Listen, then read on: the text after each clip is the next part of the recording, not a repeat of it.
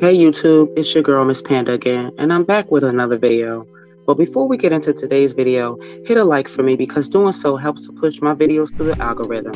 And please, please share my videos with friends, family, it doesn't matter who you share it with, just share it. And subscribe to my channel and hit that notification bell so you'll be notified whenever this channel drops any new content.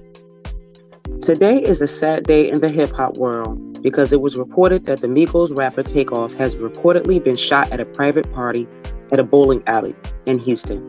Police investigators, alongside with emergency personnel, was dispatched to reports of a shooting at 80 Billiards and Bowling located at 1201 San Jacinto in Houston around 2:40 a.m. this morning.